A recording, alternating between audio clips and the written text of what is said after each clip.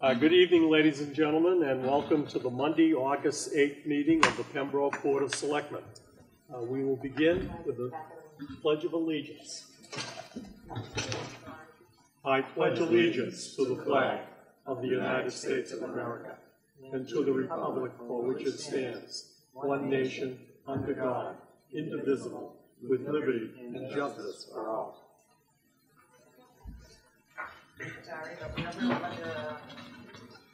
Please note that this meeting is being made available to the public through a live video and audio broadcast on Comcast Government Access Channel 15 and is being recorded for broadcast at future dates. Comments made in open session will be recorded. We have several announcements. Arthur? Thank you, Mr. Chairman. Uh, Mary Ann Smith, the town clerk, uh, says that August nineteenth, twenty sixteen is the last day to register to vote for the September eighth, twenty sixteen, which is a Thursday rather than a Tuesday, uh, state primary election. The town clerk's office will be open until eight PM that night for the purposes only of uh, registering for the uh, state primary election. If you have any further questions, please feel free to contact the town clerk's office at 781-709-1403. Thank you, Arthur. Bill, an announcement? Uh, yes, Mr. Chairman, um, the Eagle Court of Honor, um, is meeting for Eric Frisbee, uh, Boy Scout Troop one oh five, on Sunday, August twenty-eighth, at three P M. at the Herring Run on Barker Street, in Pembroke. There'll be a reception immediately following. Any information that you need to it, call seven eight one, seven oh six, 2530 by August 19th. Thank you, Bill. Dan? Uh, yes, Mr. Chairman, we have a message from the Town Landing Committee. There will be a Town Landing luau. Everyone is invited for this free event. The date is Saturday, August 13th, with rain date of Sunday, the 14th. Time is from 11 to 2. Uh, they will have a special guest, Blossom the Clown, appearing from 12 to 2, and she'll be making balloon animals. And what to expect? Treasure Mountain Day contact, contests, races, big and little island swim races, water races, donut eating contests, water and balloon toss. Stick around for the finale, the water balloon fight for ages above eight years old. Uh, Pembroke American Legion will provide a lunch free for everyone. Again, that's August 13th for the Town Landing Luau. Thank you, Dan. I have an announcement from uh, Boy Scout Troop 43. They are announcing that Nicholas Morrison has earned the Eagle Scout rank from the Boy Scouts of America, and uh, there will be a celebration and a ceremony on Friday, August 19th, starting at 6:30 p.m. at the Bryantville Meeting House, 32 School Street, Pembroke. Uh, two Eagle Scout announcements in the same evening. Again, Pembroke uh, really has a monopoly on Eagle Scouts. It's uh, a wonderful thing to see. Thank you. A um, couple other things I'd just like to bring to the attention of the public uh, concerning a couple of our selectmen, if I can. I hope I, I don't embarrass them with this. Uh, Selectman Bolter uh, visited the Bryantville Food Bank, and they have a definite problem there for additional storage space. Bill volunteered his time and his efforts. And he uh, took out some old equipment and uh, he got it disposed of, gave them the storage. So another example of uh, Bill again helping Pembroke. And I'd like to give an attaboy to Selectman Boyle, who wrote an excellent article in our local newspaper about Tiny Brown, who recently passed away. Tiny and his son Peter own and operate an auto glass business, and Tiny was well known and generously supported many charities and organizations in town, and he will be missed by many. Thank you, Arthur. That was a great You're article. welcome. Thank you. It was a pleasure to do it. I just have two things. Sure, very good, Bill. Uh, one would be uh, Sunday, they had the Pembroke Fun Day that was put on by the uh, Pembroke Watershed Association. Um, And their purpose of having this is to bring attention to uh, cleaning the ponds and the streams and all that. And uh, it was quite a, quite a day, the police, fire, state police and all that were all there. Uh, It was uh, quite a nice day for the kids, they had a lot of fun. All my grandchildren, uh, really enjoyed, uh, the day up there. Um, And the other thing that I wanted to mention was that, um, we have a, uh, world champion, uh, boxing for women. Um, that was, uh, took place last week down in Plymouth. And, uh, Alexander Lopez, who was the secretary treasurer of the Boys Club, um, won a world title at, uh, at Plymouth, uh, with the fight down there, and, uh, she is now the, uh, uh, world lightweight champion of the world. So it's a good thing. And she donates her time at the Boys Club for the kids, so. Good. Anyone else have, uh, any announcements? Just that, uh, the Watershed Association was a big success. Matthew was there as well, and, um, you know, I chased my grandson around for three hours, and that was enough to put me away. But it was, uh, was well run, and, um, you know, for a hot day, they, uh, had a great success, I think. Good. I have A lot announcement. going on. Yes, Patrick. So, uh, in addition to all these other great events Pembroke is having, on August 20th from 12 p.m. to 5 p.m. there'll be Pembroke Day, run by Pembroke Chamber of Commerce. It's going to be a great day full of fun for the whole family, and that's going to be at the First Lieutenant Brian M. McPhillips Field. Excellent. We have a lot going on in town, and uh, we'll thank everyone for making those announcements. Uh, First scheduled meeting is with Kathleen Keegan. Kathleen, would you like to come up front, please? Hello, Pembroke Selectman and uh, Town Administrator. Um, Thank you for having me here. Um, I'm the chairperson for the uh, Pembroke Salute Service, which is an event that we're going to be putting on. It's a a small group of Pembroke citizens. But we just want to thank folks like you and the police and the teachers and the DPW, the firemen, everyone that serves our town. Uh, We just want to have a wonderful day to support you folks. Um, And it's going to start off October 15th um, this year, 2016. And um, from 12 to 3 on the town green, we're just going to have a lot of activities that promote all these folks that serve the town. And then it will culminate at around 7 o'clock at night with fireworks. Um, so we're really excited to have a huge fireworks display um, like we did back in 2012 when Pembroke turned 300 years old. So our, our group is working ferociously to try to make that happen. And um, I'm here to request a vote to um, pay for the fireworks. Am I saying that right? I would request the board vote to ex- execute a contract for the fireworks for October 15th. And paying for it as well. Right, yeah, so when you write the check, that, make sure it doesn't bounce. Does anyone have any questions for Kathleen? I'd just like to say that we uh, have uh, discussed this previously, but we never voted or made a decision. I think we're ready to do that. Okay. Tonight, uh, we have uh, discovered that the uh, Pembroke 300 Fund has uh, an amount of money left in it, and it was donated money, and um, it was for the residents of Pembroke. So I believe that we think that it's appropriate to uh, pay for the fireworks from out of that fund. So um, I would, uh, the selectmen don't have any questions, uh, is there a motion? I would uh, to take the funds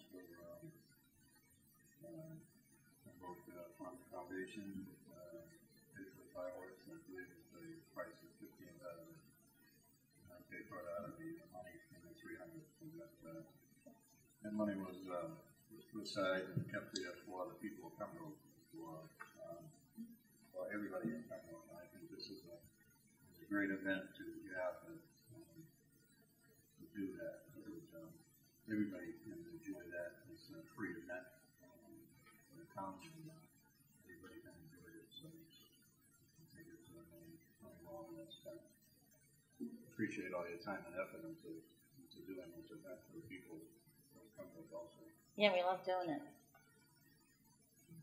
We have a motion by Bill, is there a second? I second. Second by Matthew. Any other comments or questions from the board? Um, I'd just like to say for the public that uh, we have discussed this with the town accountant, and uh, we cleared any questions that we had before, and uh, so we're ready to vote on this tonight. All those in favor of Bill's motion, please say aye. Aye. Opposed? Hearing none, I declare it five to zero. Thank you very much, and uh, we'll, we'll have Ed go over the contract, as he always does, and uh, he would execute that uh, once we uh, get a legal opinion on it. It's probably not gonna be a problem, but that's uh, procedure. All right. Great, and I'll keep you uh, apprised of as we continue to line everything up for that, Very good. that date, November, October 15th. Thank you. All right, bye-bye. Have a great Yeah, night. Thanks thank you. again. Thanks, Jackie. Um, Mr. Chairman, uh, Yes, yeah. On a side note to this, uh, and, and, you know, I I echo Bill's sentiment that uh, this money was donated by uh, various uh, people and community organizations uh, for the benefit of the town for, for fun events, which the 300th was, and this will be too. Uh, I'm just curious uh, what the balance is in the fund after this $15,000. It's a little in excess of thirty thousand. Okay, and um, I, I think events like this that come up, it's, it's, a, it's a worthy expenditure. Uh, but, you know, at, at some point, uh, this board or, or maybe the committee themselves, uh, might want to, uh, think ahead and, uh, maybe create a program for expending the money. Or, or we could just keep it, uh, if something comes up, have it in our back pocket. Uh, but nothing to think of tonight. Uh, I just think the board should, uh, consider it at some point. Good suggestion. And a, an answer to that, um, the town accountant and I are looking at preparing an article for the fall town meeting to do that very thing. Okay. Great, excellent, thank you, Ed. Our next scheduled appointment is uh, at eight o'clock with State Representative Josh Cutler, who'll give us an update. Uh, But uh, we've got time between now and then, so we'll go down to the board action items. And the first item is for the board to vote a date for the special town meeting, October eighteenth, two thousand sixteen. Chairman, I would move October 18, 2016 as the, uh, town special town meeting. Uh, motion by Arthur and a second by Bill. Uh, any questions from the board? Hearing none, all in favor, please say aye. Aye. Opposed? Hearing none, five to zero. The second, uh, item under action items is to vote to reopen the special town meeting warrant effective August fifteenth and to close the special town meeting warrant August twenty-sixth at four P M. Do I have a motion?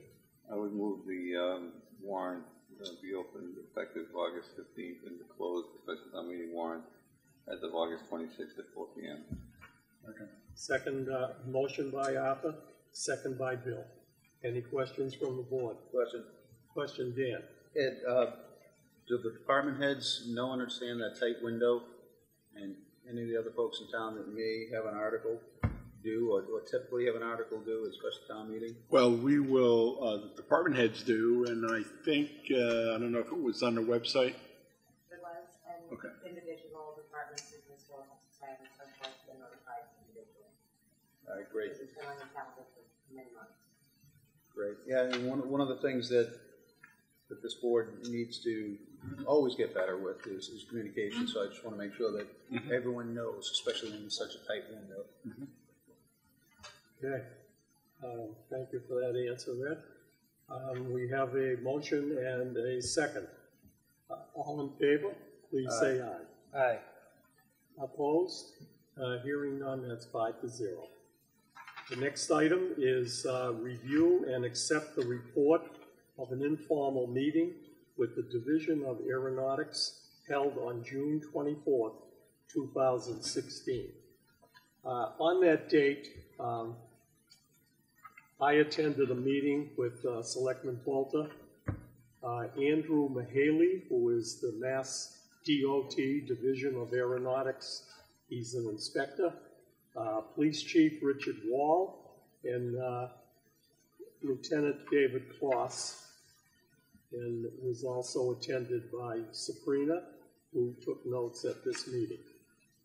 Uh, We met at 10 o'clock and we had uh, put together questions that we asked uh, the people that are abutters or interested citizens who had questions when uh, airplanes are uh, used at the private airfield on Barker Street.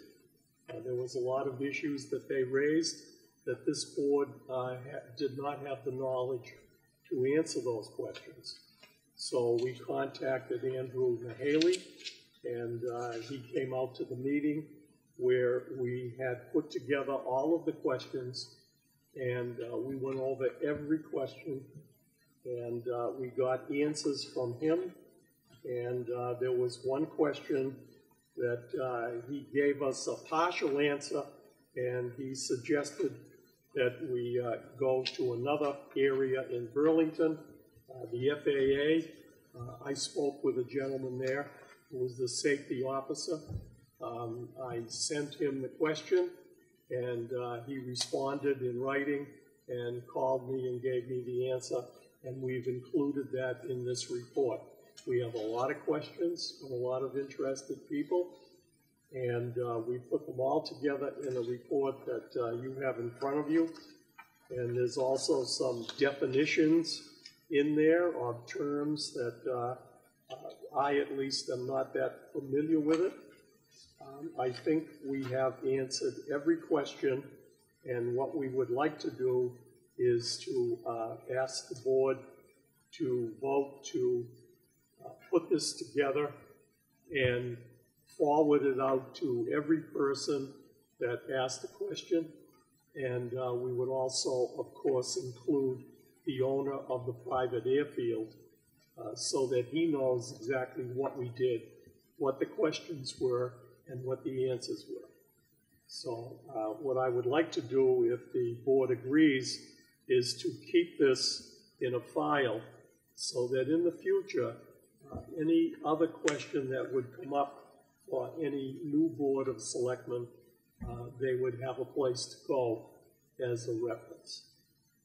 So do I have any questions from the board? Um, I'd just like to see it on the website also, there's probably some interested people that, um, may have an interest in that, but didn't ask a question. Um, that would give them accessibility to it. Um, That's a good suggestion, Bill. And uh, Sabrina, we can do that, I imagine. Thank you. Are there any other questions? So I think I would like to uh, have a vote from the board to uh, make this report public in the way that I have stated, so that every person of interest who came before this board or who didn't but uh, still has interest uh, would uh, be able to access this information. And so with that, I'll, uh, I'll look for a motion. Well, the public has been most patient. Um, This has taken almost a year to um, bring to fruition, so I would move that we make this public and that we furnish a copy to the um, people who are impacted by the um, airport. Motion by Arthur, is there a second? Second. Second by Dan. Any other questions from the board? I, yeah, I have a question, Uh, We're going to publish this, uh, the intent if this motion passes is to publish this, uh, but how will we specifically notify uh, the members of the public that came before us and and placed their names uh, before us to be heard? Uh, I just want to make certain that that they know explicitly that this information is avail- available. Yeah, I think when we solicited the questions, uh, one or two of the people who met with us on an evening a while back uh, volunteered to poll all of the neighbors that were interested and that did have questions. And uh, that person put together all of the questions and forwarded those questions to us. So we have those names, Sabrina, correct? Yes, and we notified all of others by certified mail soliciting questions. And some of you got together as a group, just put them together and submitted one document. Right. We have that listed and sent it to everyone. Fantastic. I just, I just want us to, Yeah. to Excellent. uh, take the lead in this and not be passive and, and say, well, we published it. You know, We want to push the information forward Right, that's they've it. waited a long time for it, I think to get it, you know, delivered in hand is is the way to go. Right, and they, they waited a long time, and not through, uh, any, uh, any lack of effort on, on this board's part. Uh, Lou and Bill, uh, both you folks, and, you know, Ed Sabrina as well in the background, and we've been trying to push this meeting along, so, uh, even though it seemed like we were spinning our wheels, uh, we were working at it, you folks especially. I think, I think what you're gonna find, find in this report is that, um, the circumstances for each event. So it's, um, a question with regards to, uh, how low can an aircraft fly when they're going over homes, or when they're on an inbound for traffic on the end of a private airfield. Um, it's a very broad question because there's, um, a lot of different circumstances that have to do with that.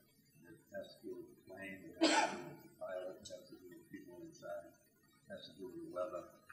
There's so many different circumstances in each individual incident. Um, if somebody felt that they were, um, violating something, should get the tail number of that aircraft report that to the, uh, to the Mass Aeronautics or the FAA and have them investigate that. So just because someone is flying lower than what they believe they should be, they may have authority to do that under the regulations. So if you look up under the Mass General laws and you see, you go to a judge in the courtroom sometime and you see all these law books that are in back of the judge have to do with all the Massachusetts general laws. Then you look at the FAA and the Mass Aeronautics, and you see all of the books and all of the chapters and all of the sections that they have that also have to do with Mass General law. Um, it's a lot, and it, sometimes these investigations take longer. Um, when you see the FAA or the Mass Aeronautics involved in any type of investigation, they don't take it lightly, they take it very seriously, and, uh, and it may take them a long time to come to a conclusion about something, but, um, believe me, they, they put every effort possibility into that investigation, so. um, The only thing I can say to the public is that they might not be completely satisfied with the report, but it's the best that we could do, but, and it's an investigation that's done by uh, state and federal authorities, not, not local, uh, so, uh, police chief. So it's, it's, um, there is a lot of rules and regulations in the FAA, that's not. Thank you, Bill. Yeah, I'd just like to uh, add that uh, when uh, Bill and I tried to bring these, get all of this together and get answers to many questions, uh, we did find out who the responsible people were that we should talk to, and those are the people that we did meet with. Now, there are some issues that might fall under the town of Pembroke. Um, If, if signing is gonna be put out uh, front of a person's uh, property that would advertise a particular event, uh, they would be good to talk to the building inspector who uh, controls our sign laws. And it would be a suggestion from the board, I think, to the owner of the airfield that if they were gonna have any type of a big event, which they are entitled to do, if they just let the Board of Selectmen's office know, uh, then we would at least be aware of an event. And, uh, So that would be helpful to us, so, uh, we have had cooperation from the owner of the airfield, and, uh, I'm sure that he'd be very willing to do that. So, uh, we have a motion and a second. Any other questions? Can we have a, uh, to take a vote now on to accept this report and to distribute it as we have described? All in favor, please say aye. Aye. Opposed?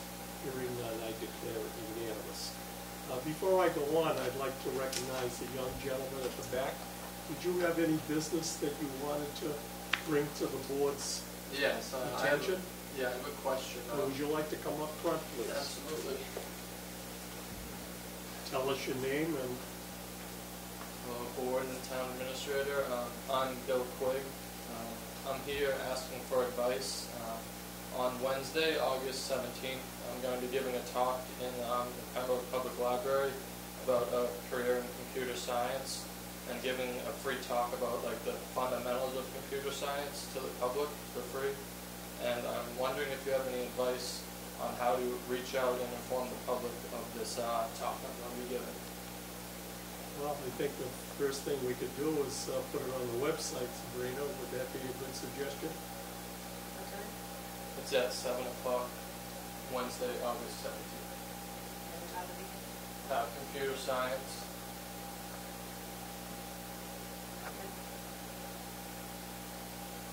And of course, you're getting a plug here tonight that, uh, yeah. that you'll be conducting that course and, uh, um,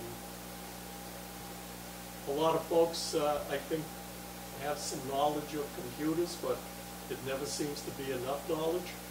So, uh, hopefully you'll get, uh, a, a good crowd of people there. And, uh, I'm sure by answering their questions, you'll be doing them a very big service. So thank you for coming tonight, and I hope you are very successful there. All right, well, thank you for your time. Okay, you want, good night. Before you go, uh, there are, there are a couple of other places you can look into. Uh, The Pembroke Mariner and Express is our local newspaper. It's, it's owned by the Patriot Ledger, but uh, that's, that's the local version. Uh, You can contact them, find their information on the website. Uh, They might uh, like to speak to you on it, or to do a small article on it. I'm Always looking for local interest stories.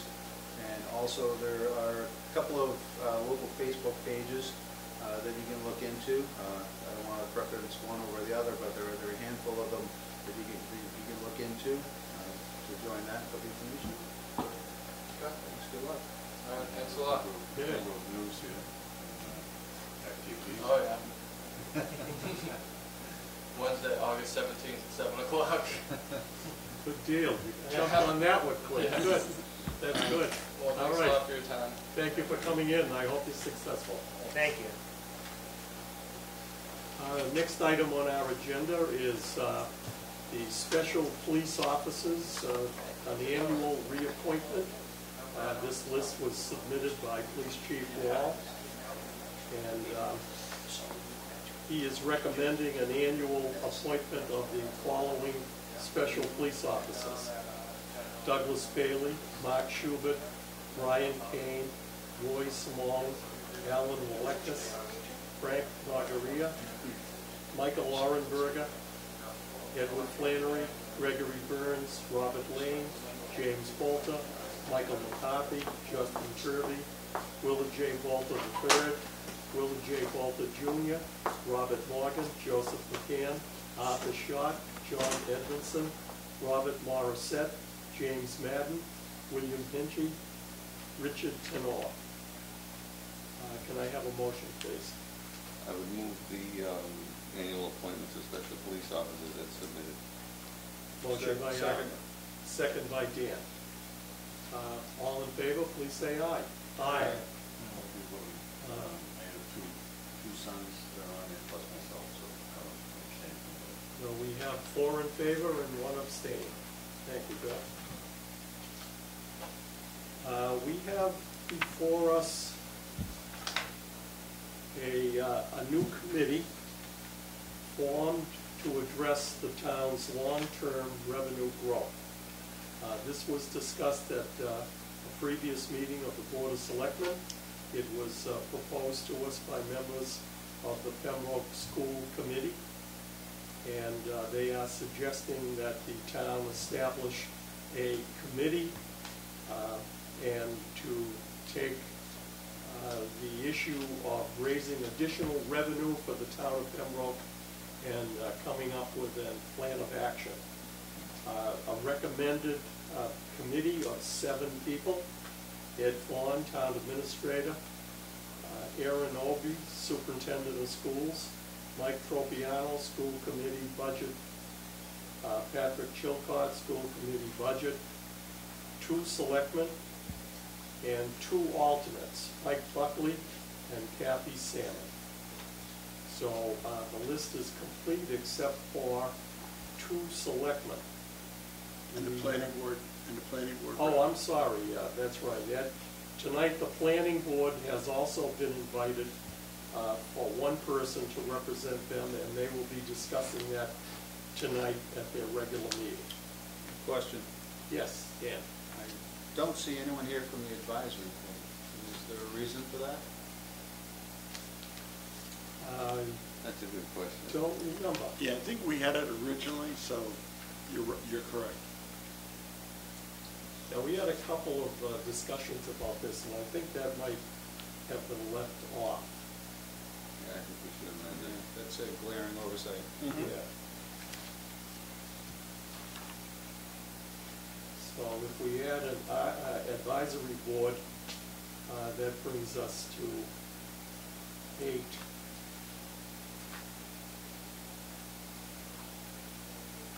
Two alternates now. Uh, Eight is, uh, we usually have odd number committees, which helps in a quorum.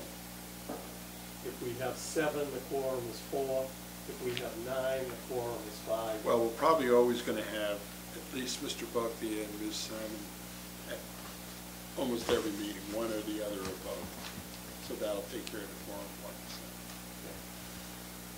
So, uh, as Dan pointed out, uh, we should have an advisory board person on this committee, and we'll be in contact with them and ask the chairman to uh, bring it up and to put forth the name. So, uh, we would have, uh, we would amend that list to add a person from the advisory board. Any other questions from the board? Hearing none, if I need a motion. Second. Uh, moved by Bill, seconded by Arthur. All in favor, please say aye. Aye. Opposed? Hearing none, I declare it unanimous.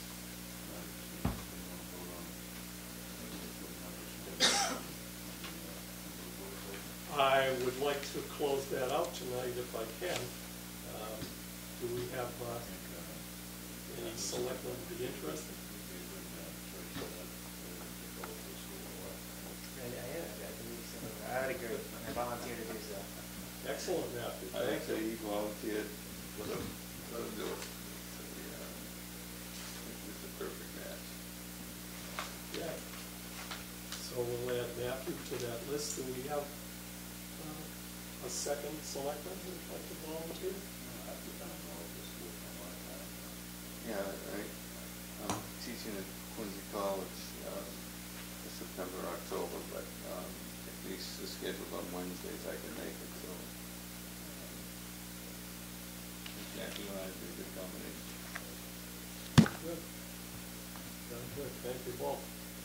So we will add uh, Arthur and Matthew to that list. Good, so moved by Bill. Is there a second? Second. Second by Dan. All in favor? Aye. Aye. Opposed? Hearing none, that's unanimous. Thank you both. Uh, The next item on the agenda, it's uh, still plenty of time before eight o'clock. Uh, We have uh, a resignation of Catherine Thurbide on the Town Landing Committee. Do I have a motion? I would move that we accept it with regret. Kathy Gervais has been a terrific member for a number of years, and um, she certainly uh, will be missed. Motion by Arthur, is there a second? Second. Second by Bill, I guess. Thank you. All in favor? Aye. Opposed? Hearing none, five to zero. The next item is to consider a request for appointment on the Town Landing Committee. We have an application from Mark Gallagher, um, and an email uh, from the chairman of the committee, uh, who is requesting that we appoint Mr. Gallagher. I move the appointment of Mark Gallagher to the vacancy on the Town Landing Committee. He is a um, a Bryantville resident. He's not on Little Sandy, but he's within a block of it, and um, you know, has expressed a great deal of interest in the beaches, and um, I I think he would bring a lot of energy to the committee. Excellent. Motion by Arthur, seconded by Bill. All in favor? Aye. Opposed? Hearing none, it's unanimous. Thank you, Mr. Gallagher, and we look forward to your contributions. Uh, The next item of business we have is a request to approve activation of a street light on Helio Path off of Monroe Street. And there is uh, no street light there now. And there is the Oh, that's right, there is, and development it- the phase. development has been paying for it, correct? Yeah, so we accepted it to our inventory. Yes. So I, I need a motion on this item, So moved, please. Mr. Chairman. Moved by Arthur. Second by Bill, thank you. All in favor? Aye. Opposed, hearing none, five to zero. Now we have a very interesting item. The Pembroke High School Latin Club is requesting that they use Tubbs Meadow for a junior classical league competition. Uh, This competition uh, is that the Latin Club will build a trebuchet at Tubbs Meadow and enter it into the Junior Classical League competition. And they want to host this competition at Tubbs Meadow. They have uh, provided a picture of what they want to build. And not knowing anything about it, I used Google. And I found out that this is, uh, some of you may already know this, but for those that don't. This is uh, derived from the uh, ancient sling in China in the fourth century BC. And it is made to launch projectiles against their enemies. Uh, They have various heights, and the various heights lead to the, uh, how far projectiles are thrown and the accuracy at which they can be thrown. Uh, They've been built uh, for many sizes, and I found out that the largest one is 59 feet tall.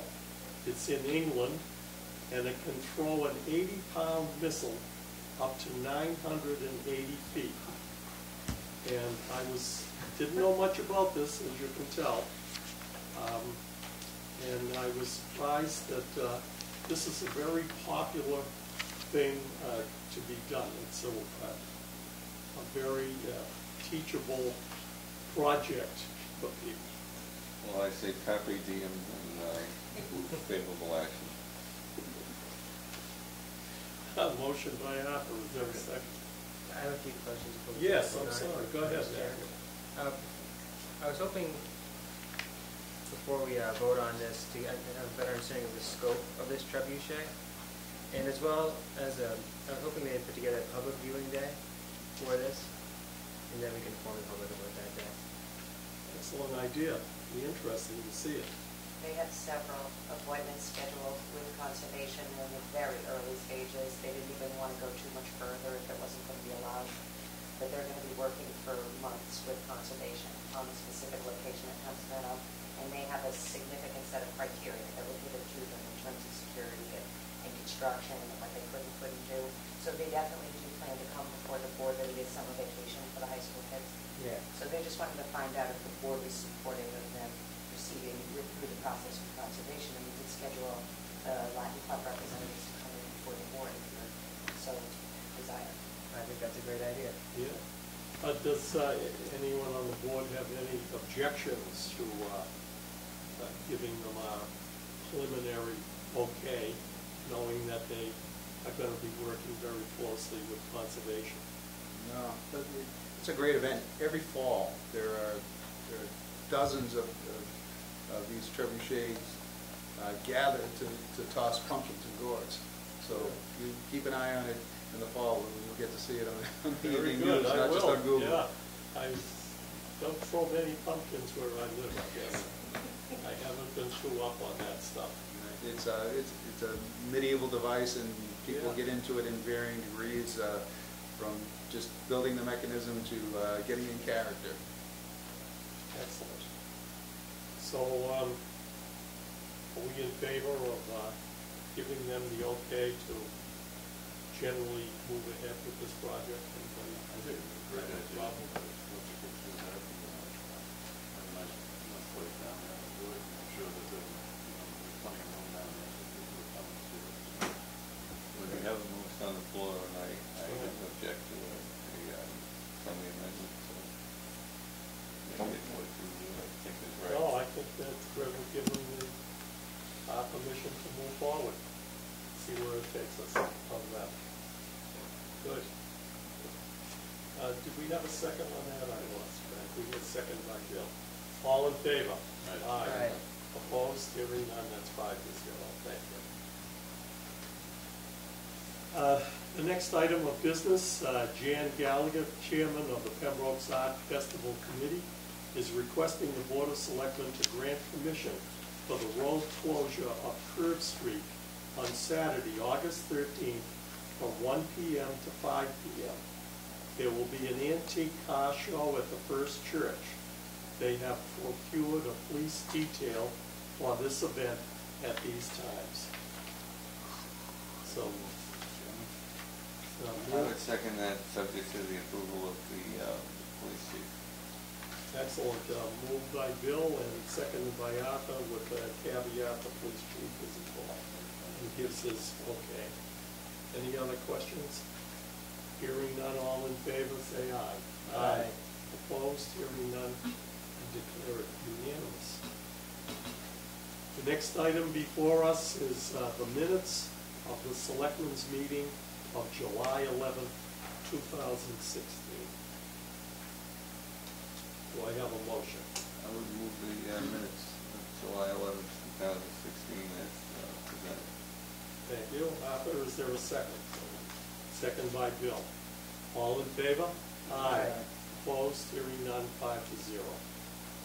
Uh, do we have any old business before the board tonight? Hearing none, I'll move along to the town administrator's report. Mr. Chairman, uh, upon a request of Selectman Trabuco, um, sometime, uh, about within the last week or so, um, I was able to furnish him a copy of the uh, summary report of the uh, strategic planning retreat that was held at the Pembroke Country Club. And as a follow-up to that, I've included the report of that um, strategic planning retreat, as well as the uh, interviews that were conducted by the intern from Suffolk University. And you have that in your packet uh, tonight for your information. So um, what the town accountant and I are doing is, uh, I've sent the memorandums out to all the department heads about capital improvements and uh, uh, update of their uh, operational plan to update that five-year plan that was done uh, a few years ago um, in, in compliance with what the, uh, the selectmen told the advisory they were gonna do. So you have that report. If you have any questions, obviously, um, you can contact me. Um, Speaking of that, I would like to say, uh, also mention to the board that uh, Dan also sent me a newspaper article about uh, uh, town and their plans they have uh, for the upcoming year. You know, that was the question that was asked by advisory to this board. And it's a good thing to see how other towns are putting themselves, uh, what position they're putting themselves in, and what their plans are for the next year. Um, I think the public knows that this board has been trying to get a solar farm on the landfill, and uh, that's gonna be a, uh, an economic uh, plus for the town when we get that. Uh, We're still trying to move forward on that. Uh, Things do look good, but uh, we haven't got anything that I can mention here tonight. There's other issues that we're also working on. So we, uh, we could come up with a document, I think it would be a good idea on uh, what our plans are for the future, so we'll be addressing that. Anything else, uh, Ed? No, thank you. Does anyone have anything under Ask the Selectmen?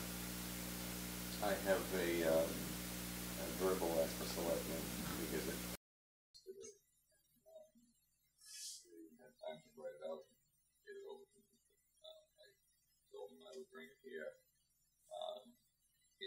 Neighborhood of, uh, Cedar Oak and uh, Pine Terrace and Woodbine Avenue, we've had an issue with speeding for the last, uh, couple of summers. It, it's gotten out of hand to the point that we had the police involved um, Saturday night, and um, I think Officer Ramsey was uh, telling a young gentleman what it's going to be like for the pedestrian if he was caught speeding again. Neighbors had suggested, and I, I thought it was a good uh, suggestion at the, uh, at the time, I still think it's a good idea. Um, it's to um, bring in seasonal speed bumps. Um, you know, the, uh, the ones that they use in the condo complexes and the Cape and that kind of thing, where they put them in in, um, April and May and they take them out in October so that they're not lifted by the you know, snow plows and that kind of thing. And to a neighbor um, that I've talked to, not most of them, but a number of them over the last couple of days, and said, what if the town brought in these temporary speed bumps? What would you, you know, what would you think? Because, you know, you're gonna have to drive over them as as well as the, uh, the unwelcome traffic. And they were to an individual, um, in favor of the, um, speed bump. And, um, Selectmen, uh, to Ed if possible, to the DPW to look into, um, getting, uh, it, it's a little late for this year, um, and the, the police are doing a good job of, of, you know, catching people when we turn in plate numbers and things like that, but, um, I, I think it would be a, a good first step in, uh, curbing some of the traffic, and we would, uh, you know, as a neighborhood, we would be the guinea pigs for it or whatever, and gladly so. Uh, but I'm sure there are other, um, neighborhoods around the, uh, ponds in particular, along Oldham Pond and Furnace Pond that, um, you know, probably would, uh, support that in their neighborhood as well, so if we're gonna do it, I think we need to do a little research and talk to DPW and, um, you know, try to make the neighborhood safe because, um, car Saturday night was estimated at thirty-five miles an hour on Cedar Terrace, which, as most of you know, is about nine feet wide. And, um, you would have nowhere to go if there was another car coming in the other direction. Worse yet, if a child came out on the street or, um, you know, followed a basketball out on the street or something like that. So, um, before we have a uh, tragedy, I'd like to, um, get uh, some support from the DPW and I think that they would welcome the opportunity to I, I can certainly understand the uh, safety issue there from your description, and uh, 35 doesn't sound like an excessive amount of speed because we're used to regular streets. Right. But a nine-foot wide street, uh, it's they're just looking for something to happen. So uh, you you you're still doing some investigation on this happening other people. involved? Yeah, but it, it's come, you know, with support from everybody I've asked about it because it, it's it's a neighborhood nuisance. Um, it, it um, you know, it comes as a mixed blessing getting pavement done in, in certain neighborhoods on certain streets because you know, in a street that's nine or ten or twelve feet wide, you have it newly paved and it becomes a NASCAR. So um, I, I think that um, you know, getting the DPW involved and the police have been great. Um, I can't say enough about their response. So, um, I, I'd like to look into the speed bumps, you know, as a seasonal solution.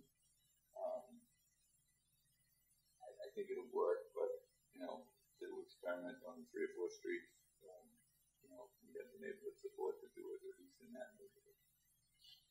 Chairman, yeah, yeah. uh, I would like, I would like to see the DPW and the police department analyze it first and foremost, to, to to see if it's, if it's feasible. And, you know, public safety is public safety, and I understand, but one thing I, I- I'd like to guard against as a selectman representing all the town is to, um, is to be placating one neighborhood that if they, in thirty-five is absolutely too fast for that, that roadway. But if it's a, if it's a neighborhood that perceives someone that's speeding and the, the board of selectmen run to the rescue with, with temporary speed bumps for them, um, and then every other neighborhood that's a tight community will all feel the same way. At, at what point uh, does it end? And, you know, I'm not taking away from uh, the safety factor, but um, I have to step back, I have to step back and look at it in, in that light. Is this, are we truly stopping, uh, stopping a menace uh, for safety, or are we placating uh, a tight-knit neighborhood? I don't know, but that's, that's something that I need to look at and think of. That it's, I know it's tough, Arthur, because you're there and you're with them and on the ground, uh, but I need to look at it a little further. I, I can't just keep running to tell everyone for everything when someone says, think of the children. So I, need to look at it. It may be completely valid, and if they're going thirty-five miles an hour, that's valid down that street. So I, I just wanna have the experts, the experts in the industry, the DPW, police department, take a look at it rather than a political board, or along with the political board. Well, that's why I wanna involve the DPW and the police department. Absolutely. No, it's, it's, it's- it's, fair, it's fair to do, Yeah, Certainly. I mean, it, it's, it's an easy and expensive solution.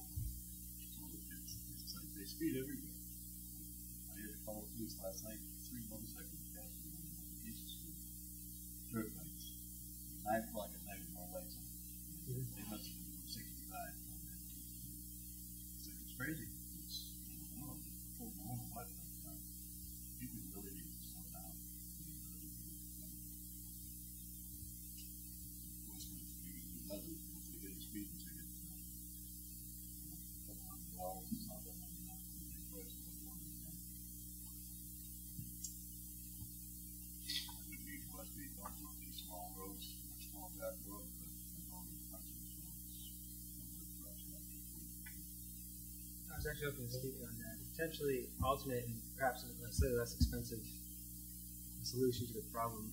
We have the police department look into the idea of placing unoccupied police cars somewhere along the road and make people perhaps think that there's police officers monitoring the speed limits.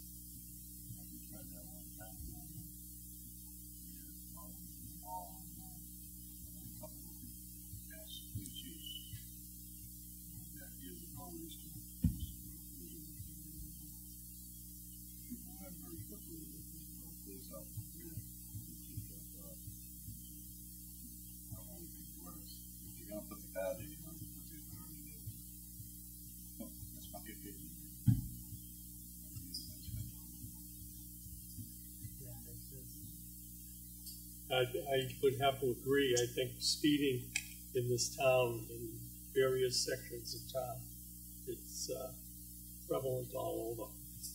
And people really do watch the speed limits and, you know, just observe That's all you have to do.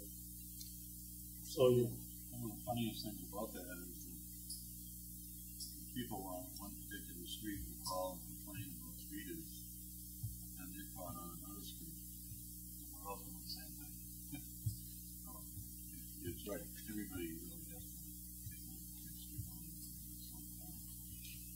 Especially in the summertime. Well, again, I think it, it's, you know, incumbent upon us where we are made aware of it.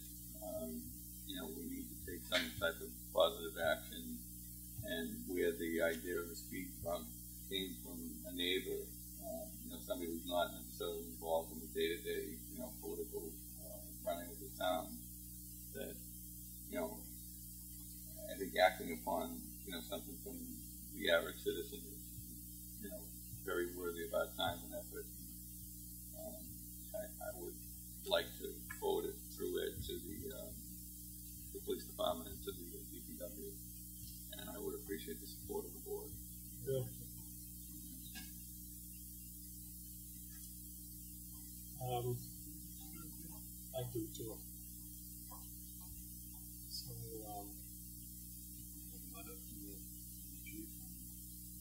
Yeah, I would move that it communicate in whatever fashion he sees, um, most fit, uh, to address the, uh, issue. Um, he knows what it is, and he would, you know, have to spell it out. good. Good, we have a motion and a second. All in favor? Aye. Opposed, hearing none. Uh, Mr. Thorne will take care of that, thank you. Uh, new business before this board. Anyone have anything? Bill? Over the past, um, we've, we've looked into a lot of things in regards to, uh, long-term on, uh, streams, we've done a lot of cleaning, um, this past year,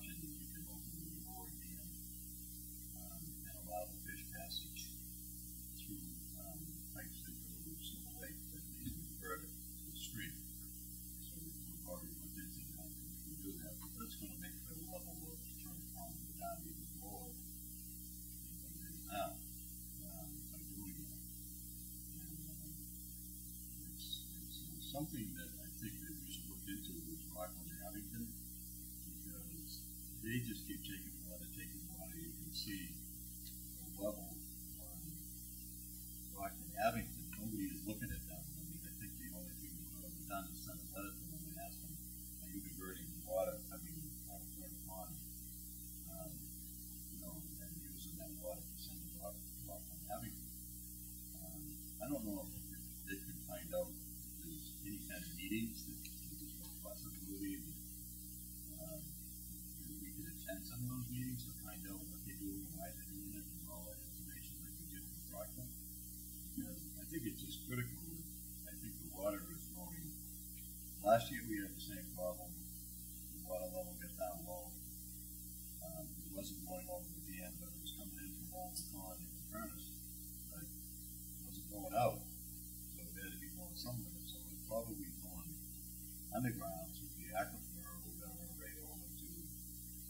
Sandy, and they just keep taking the water, so as they're taking the water, that whole area of the water level goes down even further.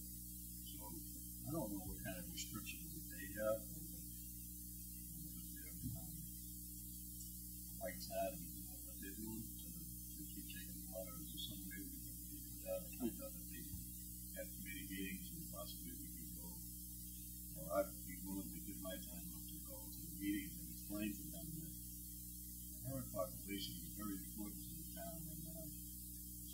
this year. You know, such a large uh, Kristen came up with and migraine respond to um, The biggest thing is, and um, it just seems a shame that we wouldn't be able to get those fish downstream back up to the ocean and back again. There's two water supplies in, in the town that just keep taking water, taking water. It's, um, it's going to be a stop somewhere.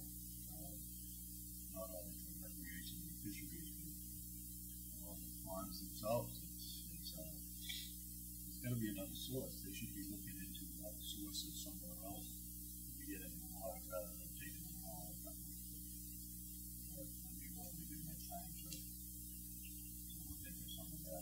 Um, to, uh, commissioners or whatever and find out if there's any meetings they have or, Well, I know both managers there real well, so I'd be happy to give those guys a call. Yeah, Alan Shocker was very approachable. And uh, Rick LaFawn's in Abington. And then Dan Callahan is the, uh, the water director, and I've spoken to him a number of times, uh, in the past, uh, about water and what they've been taking out for, for, for other water issues. And he's, he's been responsive, he answers the phone, he answers the email, so I'll, I'll get you his, his phone number and his email address. Uh, so you can speak, go right to the source. I mean, he answers to commissioners, but, uh, he, he's the guy that runs the day-to-day operations.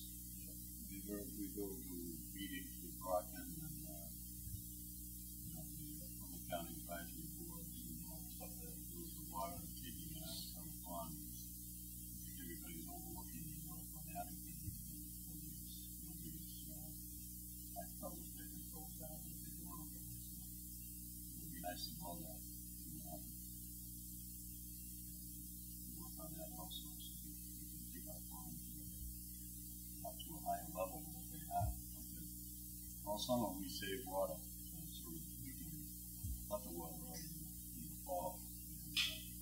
We save it, save it, and they take it, so it just doesn't make sense. But we still have that issue of uh, Brockton taking water and then selling it to somebody else. And we can't seem to get a handle on that. I don't know where that stands. Well, the, the latest where the Brockton water stands, uh, uh, as we know it, is uh, our state legislator and, and others, and Jim Calter is, is one of the few who's been taking the lead. Uh, the last statement that he said when the Brockton mayor, uh, last published statement that I recall, uh, he tried to get a meeting with the Brockton mayor, and the Brockton mayor blew, blew off the meeting abruptly and did not did not show. Uh, so he said, Tom Calter said, the state legislature gave them the right to take the water out of Silver Lake. The state legislature can take it away, and that's a pretty good segue to ask our state legislator when he gets on the mic here. It is. It's a good point.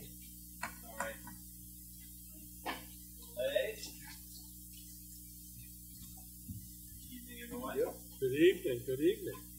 So I actually just left Tom Calter. Thank you. Literally, uh, which. Good evening, everyone. Good evening. Good evening. For long as my first uh, time before you as a selectman, congratulations again. Thank you. You guys, it's good to see you all. Um, so I'd be, uh, I will start with what uh, Dan asked, and then I'll dive into the, the budget update, and then happy to take any questions that you guys might have. Bless you. Um, so regarding the issue of um, water management vis-a-vis Brockton, this has been, and credit to Selectman Trudeau, he's, he's been on top of this since the beginning, since I first got elected. He's been, he's been on me to, to, to be on that, and I appreciate having that kind of support at the local level. So thank you. Um, and Representative Calter, to his credit, um, next door in Halifax and also Kingston, has been really the, the vocal leader of this, and I've been proud to stand with him and support his efforts.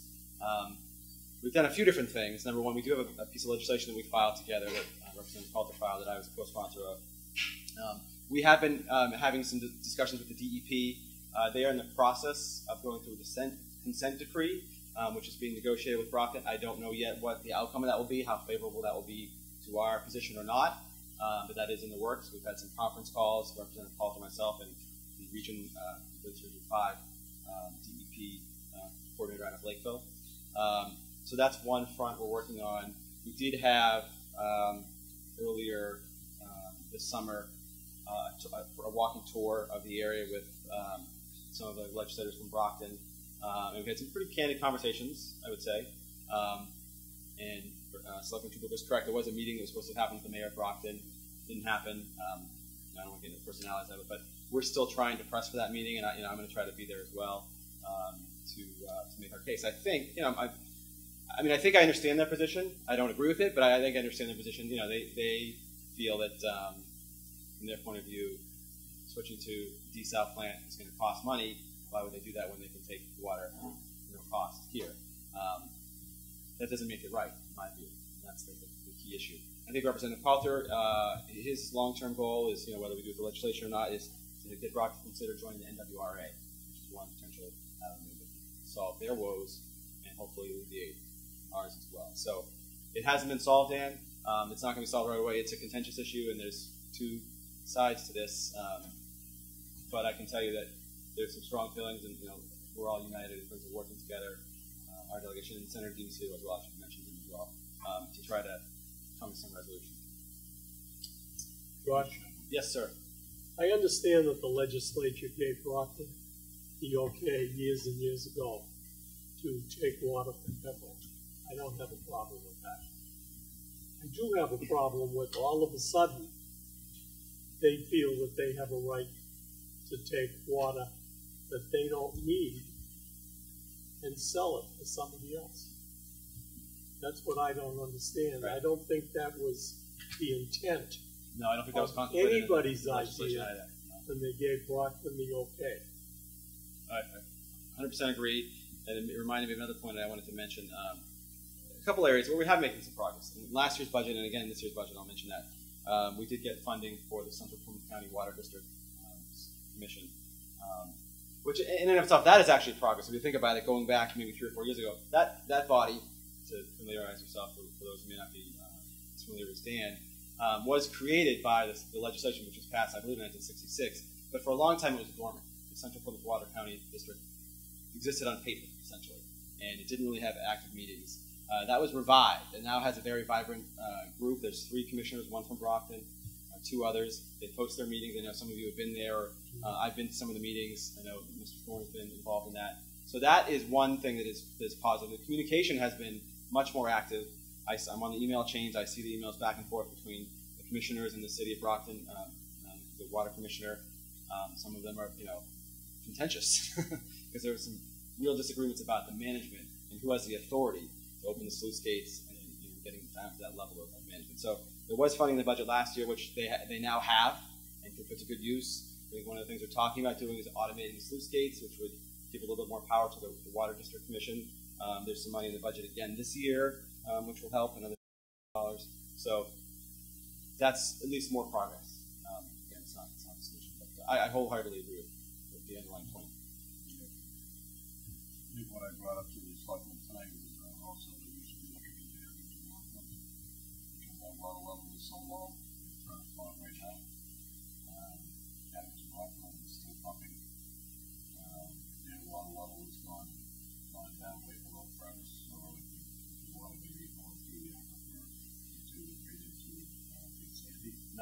Silver Lake, you're talking about which out of pond is extremely low this year. It's, you know, because of the drought. We've closed our gates down the, uh, dam down to try to save water. But it's probably down a foot and a half to two feet, uh, on the pond itself now, so it does us no good to try to save water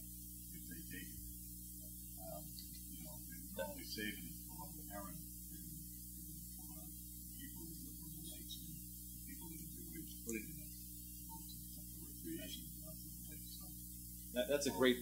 Sorry, that's a great point. You know, you mentioned it, Bill. Uh, one of the issues we've had, you know, obviously all of our South Shore towns are under water restrictions. Um, Brockton only recently went under voluntary restrictions, so they, they really have don't don't have a lot of incentive to conserve water, which is um, not what incentives should be. So that's another issue that we have with the whole water management system is we don't have incentives to conserve water. They really don't. They don't really know that. The other thing that, um,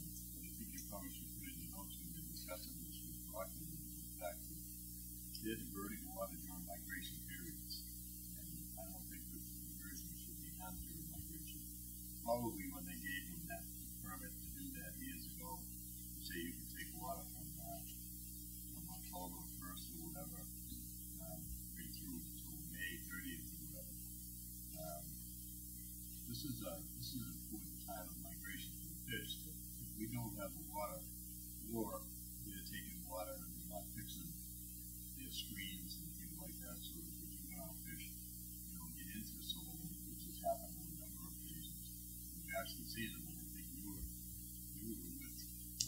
Down Down one day, hundreds of little fish that were right near the end, and that's all they had to do was open the gates and away they would go.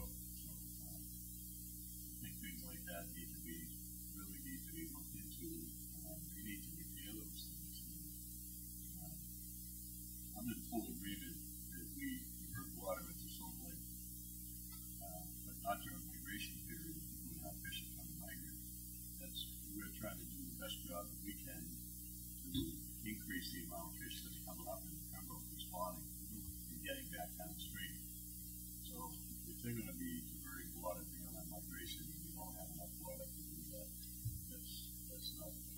If you all think it would be helpful, I, think it was probably about a year ago, we had uh, Representative Calter along with, I think, Paul Collis from the Central Plymouth County Water District Commission come in to, to a meeting uh, and have a discussion either here or uh, sh- a smaller gathering, whatever you think would be helpful. But if, if that's something that would be helpful for the board, I'd be happy to try to uh, so. Actually, I go to those meetings. You go to those meetings anyway, so. On the advisory. stick on talking about water. It's a good segue, actually, um, to other water issues. Uh, so uh, my purpose, my main purpose this evening was just to uh, kind of give a quick budget update. We finished our uh, budget cycle for the FY uh, FY 16, using FY 17.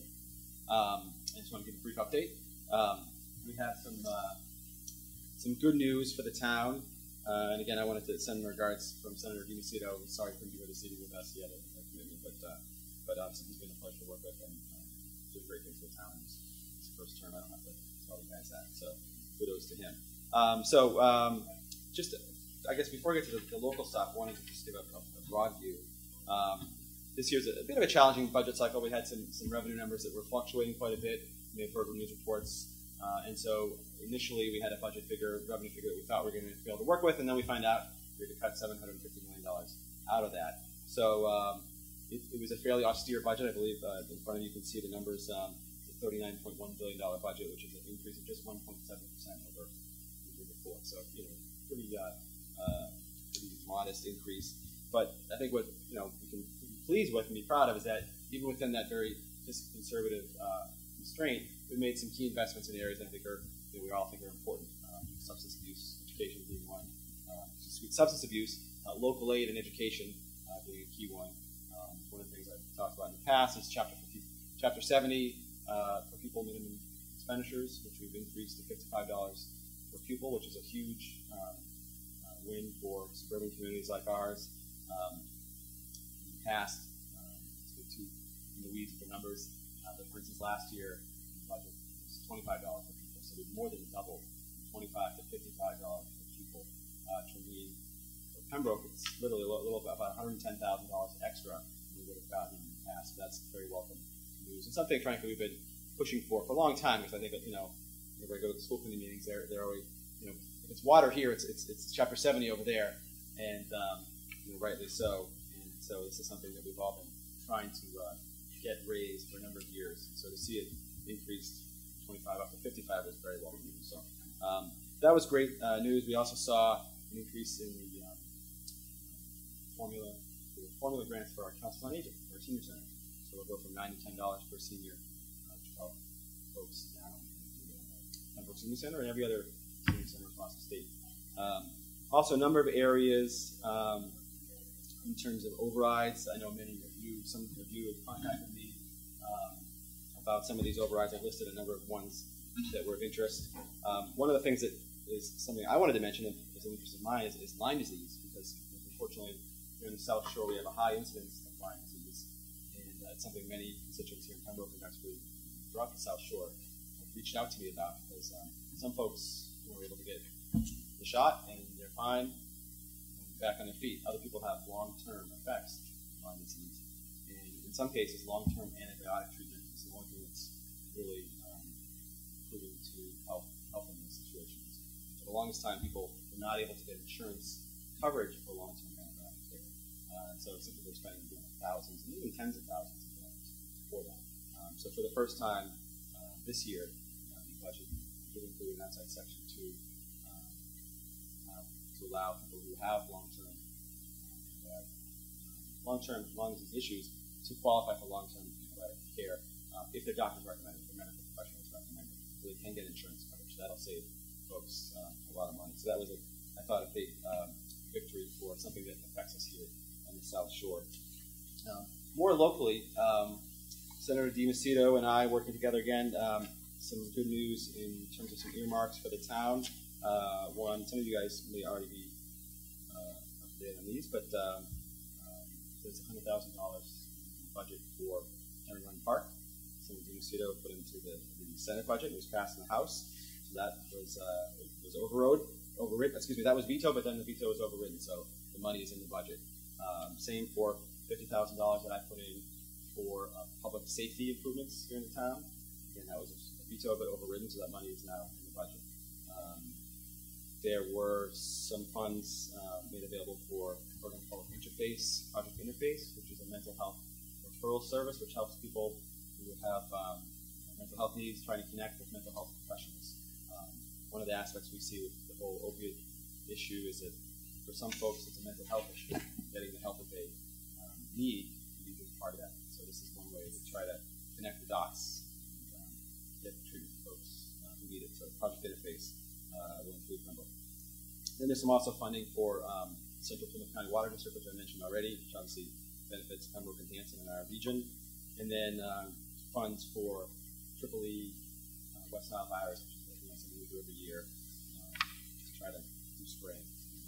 So those are some of the highlights. Um, the, um, the school aid thing uh, I mentioned already. Um, that's one. Um, if there's any particular needs or questions or areas that you're interested in, I'd be happy to talk. Um, Ed Thorne and I have already kind of talked more times than I can think of the last couple weeks about various things. So he's on top of stuff. But if there's anything particular that you're interested in, and everything I just mentioned um, is in this little.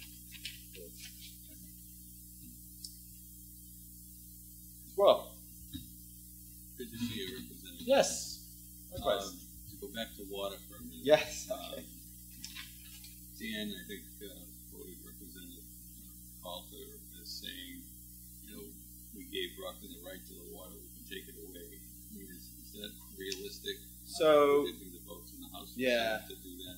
The problem is, so Representative Calter filed a bill that I'm a co-sponsor of, and the problem is going to be just getting enough support for that because, um, you know, if you look at the population, there's more people over there, and um, you know, that means they have more, more representation. So um, that's going to be an uphill fight, I think, to try to get that to happen. And I think um, Is, excuse me, Josh, Yeah. is that to repeal the 1964 legislation? And I think you know, I hope I'm I am hopeful that we can. You know, there's got to be there's got to be a compromise. Brockton has a desal plant. You know, the MWRA would be an option. We're not saying you can't use the water at all. We're just saying we want you to use it responsibly. Well, the That's- desal plant that spending between two and six million dollars, depending on who you believe, um, you know, not to use the facility. Right, it's like one of those not raising pigs things you see in the federal budget, right? Yeah. And, and Mr. Chairman, if I'm, that 1964 legislation allows Brockton to sell water to Whitman, correct? I'd have to double check that. Okay. It's because there's that. Yeah, so that affects the town of Whitman as well. So, No, I'm just saying, um, you know, that does, that does say. It that. does include Whitman. Yeah. But, um, I think the whole thing about all this is, um, when they made this back in nineteen sixty-four, um, there was, a- there was a lot of water. There was, Sure. you know, there was water everywhere. I mean, and Pembroke What was the people- population of the town? And the population. Well, yeah, it it's- was, it was very different at the time. Just to, to correct one thing, the, the legislation was passed in eighteen ninety-nine. The sixty-five law was passed because it was a severe drought, so they had to amend the eighteen ninety-nine law. But I'll forward that over to you, I have a copy of the original. So it's, it's, uh, and even, even as far as the fisheries and things like that go, it's, um, it's something that it, it was so abundant way back then that they didn't think about, um, what's happening here today. It's, um, I think all of that needs to be looked at. It's, uh, Vision Marine Fisheries is right on board with us, they, you know, they're trying to deepen the project. Um, Brad Chase has, has got a bunch of different, uh, projects,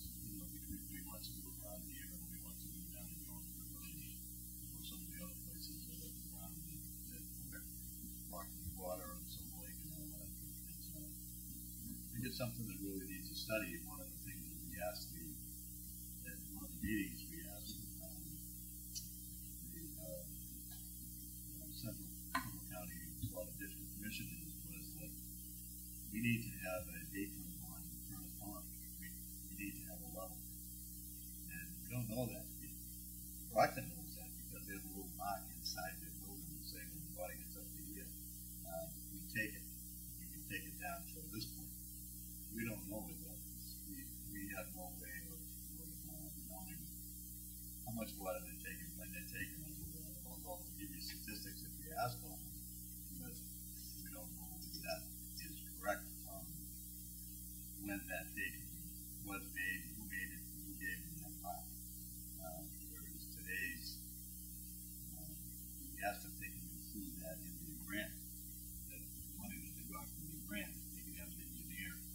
Last year?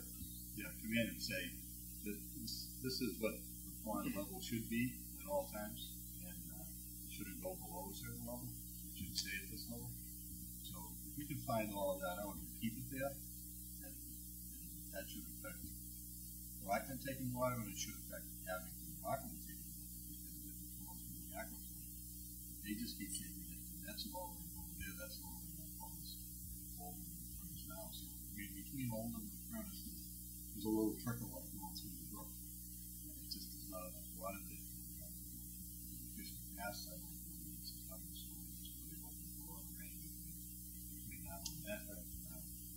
Especially on a multi-year, we- we've had so much, uh, fish that have come up this year. Originally, three or four years ago, it was twenty to thirty thousand fish. Last year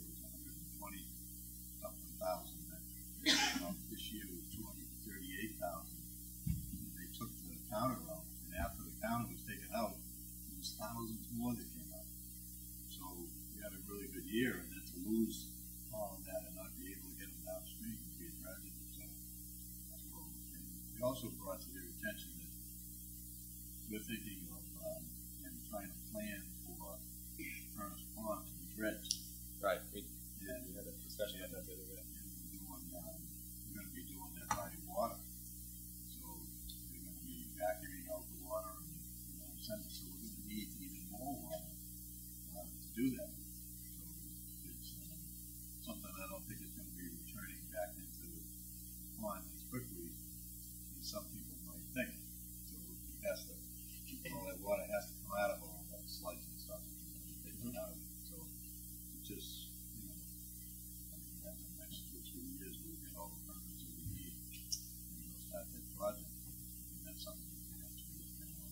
We had a, uh, uh, maybe, I had already updated you guys, we had a meeting last week with, um, uh, representative from Senator Warren's office, uh, our region, uh, with town minister Robert Hanson, who also had a regional meeting, and it's gonna talk about, you know, some of the bigger picture priorities for and Hanson, and, uh, that was, that was, the Humboldt one, identified that right away. Um, And, you know, I think the Sen- uh, senator staff had some ideas about potentially, you know, post sort of,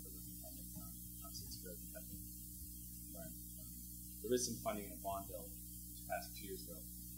About, um, Bond so it's less, you know, be authorized by the government, but fifty million dollars in bond. So, all right, I get the message, water.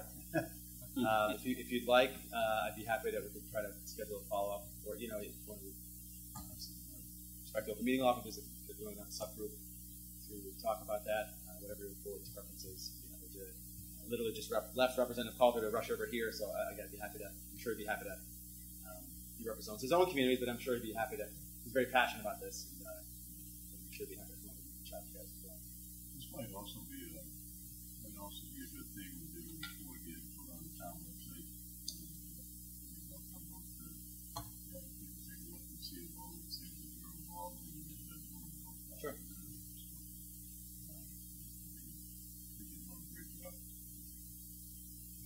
have a question, Josh. Okay, by water? Uh, no, Oh, okay.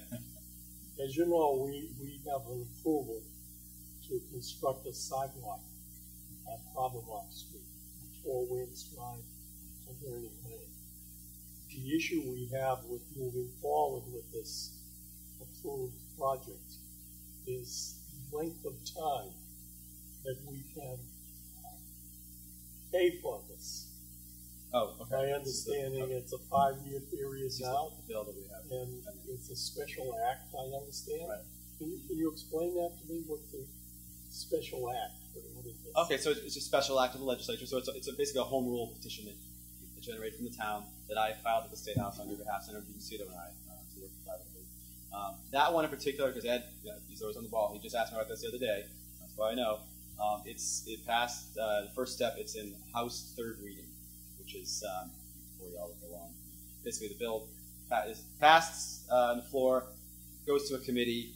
Uh, in this case, it went to the municipalities committee. Had a hearing. Um, it, was reported favorably from the hearing from the committee, giving basically giving the thumbs up. Then it goes to House third reading, which is um, every bill goes through House third reading. It's like a traffic management thing where they review all the bills, make sure that they um, you know, literally like no typos and the right master of the law is referred to, and there's not a conflict with another state law, all that kind of stuff. And that can can be a um, can be somewhat lengthy, but uh, but this bill's moving along, so I don't anticipate. So what, what is the process So it's a, it's in House third reading. going through that? Then it will go to the Senate, and the process will repeat, and um, it doesn't have to go through a hearing. It's already had one with a joint committees, so one hearing for both branches. Um, it goes to the House, the governor. We've already uh, we did a home rule bill in Ducks, excuse me, in already uh, last um, last year, um, so it's, it's not a it's not uncommon. I have a couple home rule bills in Duxbury, one in Hanson, and though, just to, in case folks get confused, uh, we did formally end our sessions July 31st. We have seen the news. Uh, that's ending formal sessions. We still have informal sessions throughout the year, uh, at which point um, bills of a non-controversial nature and home rule bills are viewed as that way. Uh, the vast majority of times um, can still pass during those informal sessions. Um, so there's, that. Thank you. Josh, has there been any talk or movement on reviewing, analyzing, and revising uh, the Chapter 70 formula? Sure. Uh, yes, a lot. um, so, two years ago, in the budget, we uh, put language in to have a commission do a reanalysis of Chapter 70 formula. It hadn't been done in, I believe, seven or eight years, so it's, it's time to do it again. Uh, they did that. Uh, I know, I believe, former Superintendent Hackett offered some testimony to that commission. I think um, I during my talks with the school unit, we talked about it, you know, there was a dialogue there. Um, they made, so they made their report, they made some recommendations. Obviously, a big part of it is not going to be surprise, just funding. Um, the size of the pie is, you know, the main issue we, we'll, we can fight about how it gets divvied up, but unless the pie gets bigger, it's going to be, you know, this town versus that time kind of debate. Um, so there's been a lot of discussion. I think um, it's it's not resolved. Uh, this year, we saw actually a really welcome step because in the past, my frustration, probably your frustration, is that you know when you see these increases in local aid, it trickle down to, to our towns. You know, it's fairly modest. We saw very small increases in local aid. Excuse me, in um, Chapter 70. You know, the past few years um, because of the way the formula is. And Pembroke's student population has actually been you know flat or even declining in some And this is the same. Every three, all three of my towns are the same boat exactly. Um, same issues with, with Chapter 70 formula. And so, how do you resolve that? Well, short of just throwing open the whole formula and starting from scratch, which would be its own you know, uh, challenge, um, the, the minimum per pupil expenditure is the key.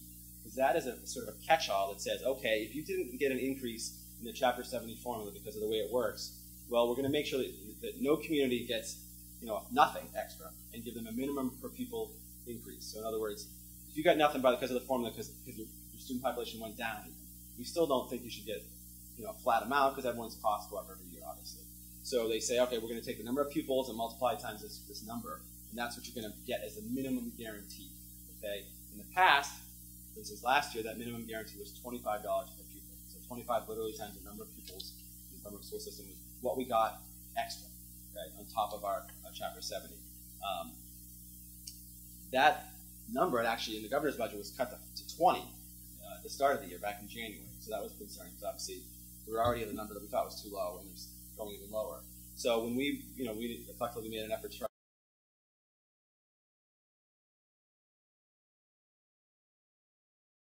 up, um, we had a great coalition of 70 or 80 lawmakers that signed a letter that I wrote actually, um, asking for an increase in that number to 50. And um, so imagine my surprise when we got 55. So um, I thought 50 would be pushing it, but hey, it sometimes pays to, to ask for more than you can get. So that was more than doubling it. Um, so that is a way to help the school districts like Pembroke, like Whitman Hanson, um, and suburban towns that, that, that don't get the big share of increases in Chapter 70 because of the way the formula is. And obviously, we don't, you know, we can have our whole debates, and we've had, had some, we had a really fun discussion last term, asked Senator deMacedo before the school committee about this. Um, you know, there's some communities, you know, that, say Lawrence, not to Lawrence, gets about 93% of its budget from the state. Uh, on the other side of the coin, a town like Duxbury gets about 12%. Uh, Pembroke's actually uh, around, it was around 40, 41%. Um, so, you know, we're not doing too bad by that formula. Um, obviously, anytime you get into weighing need, it gets very difficult especially because you have people from the community in Brockton or, or Lawrence that say, well, we have these tremendous problems that you guys don't have. And that's true, and that is true. Um, we also have needs as well, though, and obviously we have our own challenges. And, and so it, it is a balancing act, and that's where it gets you know, difficult, and that's why we have a, you know, a legislature try to weigh those things out. Um, the formula has been tweaked, you know, probably a couple times over the last decade um, to try to be fair, and recognize those issues. Um, this year, the $55 was probably the biggest push in the right direction I've seen since I've been there for sure. Probably going back a few years before that as well. Um, the good news, and I, and I want to, I'm on TV, so I should be careful what I say. I don't want to promise this, but typically when, when they increase something like that, they don't go back the other way unless there's a real fiscal catastrophe. So I'm very hopeful. Again, I don't, I don't want to promise this because I can't promise it, but the next year we'll start from that $55 baseline again um, and not go back down. So um, that's a short-term way to kind of get more money to our kind of community stand. Um, longer-term issues are much thornier because again, you're talking about if the pie doesn't change, and, and now we're not to divert, but we're talking about uh, a ballot question with charter schools. They could potentially add more charter schools, and I don't want to weigh the merits of charter schools, but you know, that if there's more charter schools, there's more schools. So that means the pie is the same size effectively, and that money stays divvied up. So that becomes even more challenging. So the real solution is to make the pie bigger, and then everyone will benefit. And that's gets into revenues and even more issues. But so that's a long answer to a great question. Um, definitely this discussion is probably one of the big things that gets talked about every year. Um, and I think this year we did make a pretty significant um, move forward with $55. You, you, you explained it well, but uh, just so you Yeah. and everyone else knows why I asked, it's just to, just as you mentioned, the suburban towns and communities like Pembroke seem to uh, it, you can perceive it as being slighted uh, in our percentage of Chapter 70 formula compared to uh, the inner cities that get the, the lion's share. So, um, and the inner cities do have their issues, um, and we have to be careful. We have to be careful. The W you know might be better than the W you don't know because if they do redistribute it, and then then the wealthy towns are going to go up, and we may stay level or even go Right. down. That's what I always say. You know, you know, people say we want to reopen the conversation and start over, and I, and I worry that that could go in our, the other direction because there's, you know, um, exactly what you say. And you know, Pembroke actually, if, as a percentage of our net school spending, we actually get more of our budget from the state than uh, almost any surrounding town. So, uh, except for Whitman Hanson. So, you know, from that point of view, we're doing better than other suburban towns. I'm not trying to, to you know, sugarcoat it and say we, you know, we don't clearly don't have enough money, but um, but it is a dis discussion. And, and, I've talked, I've had this discussion with legislator from urban areas, and they say, well, you know, yeah, you'd like our money, but do you want our problems? And um, you know, it, it, it's, it's, a tough, tough uh, issue, but um, I think certainly we made some good progress this week. If there's one thing that came out of the whole session so far that I'm really the most proud of, it would be that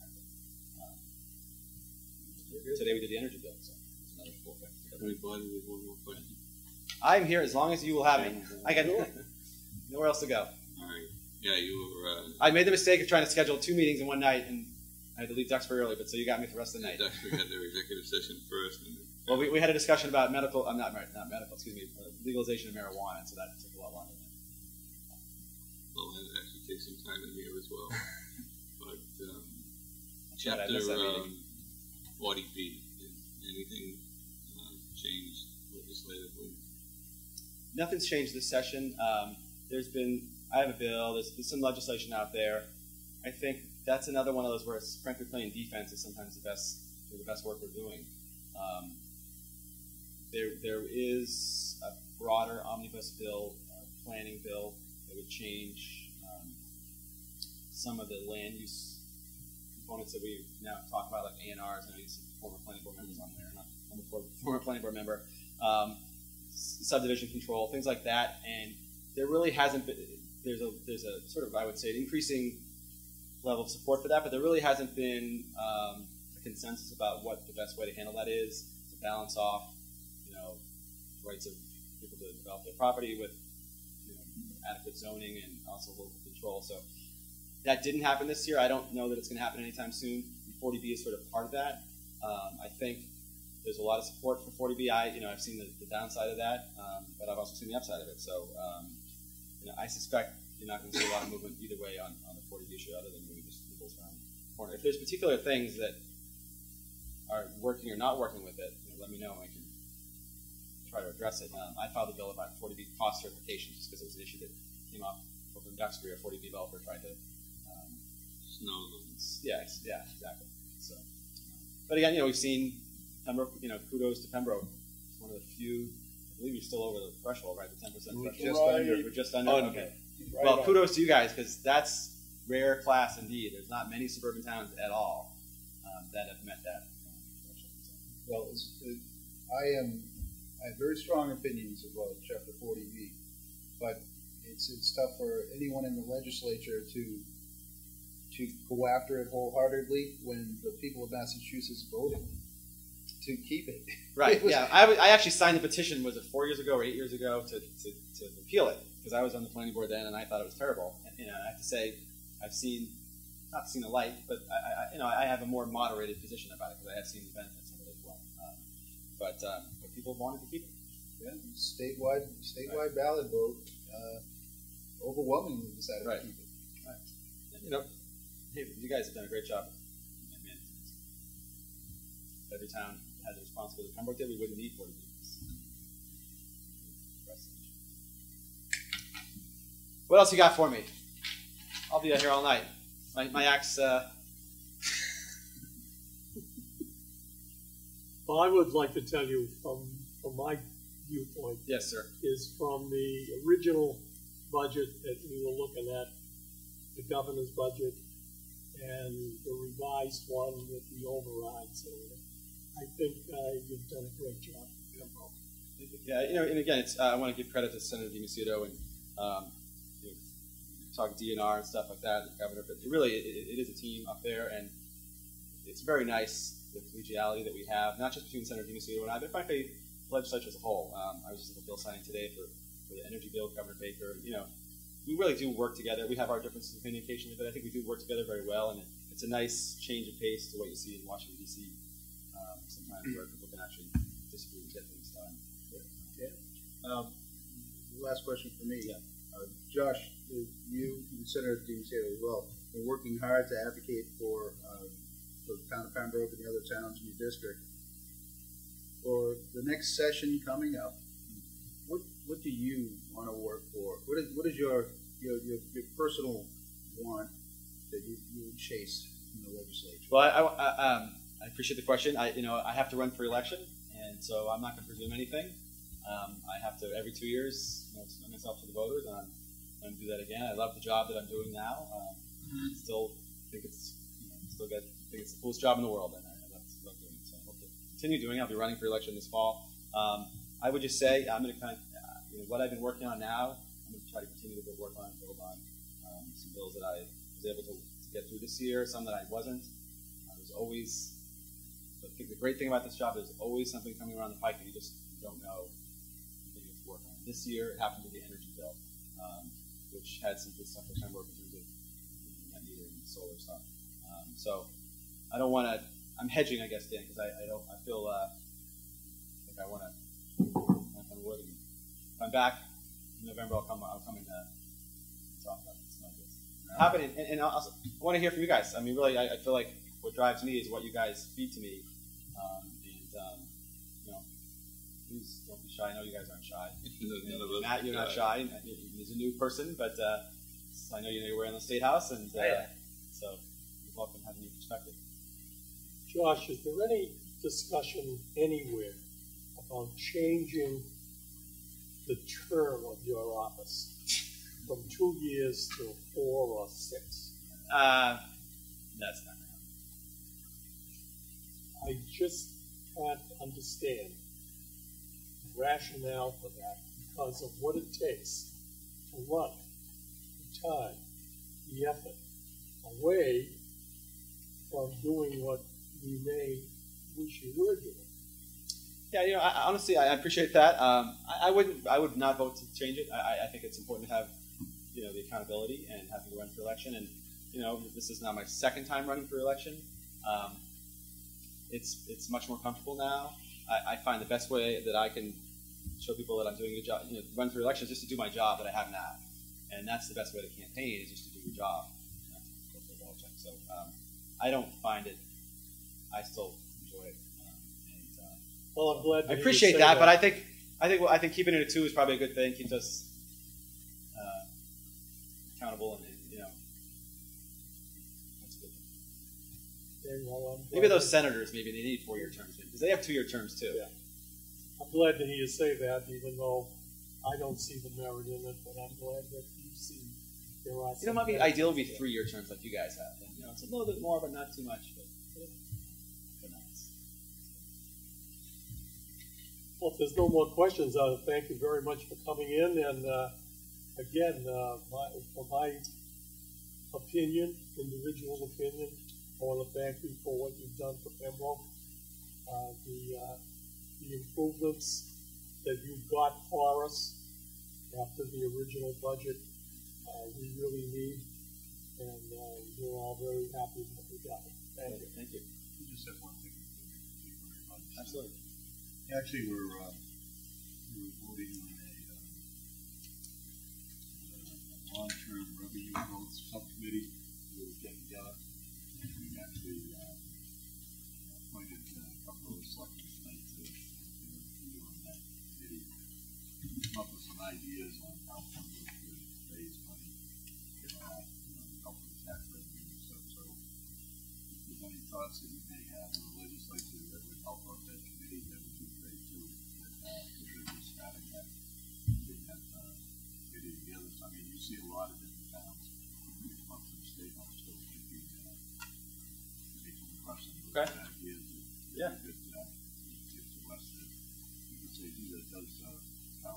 Of things I, I didn't bring the, the, the notes, uh, um, but actually tomorrow, um, the governor is signing the municipal modernization bill, which is a collection of ideas that came from selectmen, boards of selectmen, city councilors all over the state. The governor filed it, and we have, you know, um, probably minor changes, but it, it, it passed.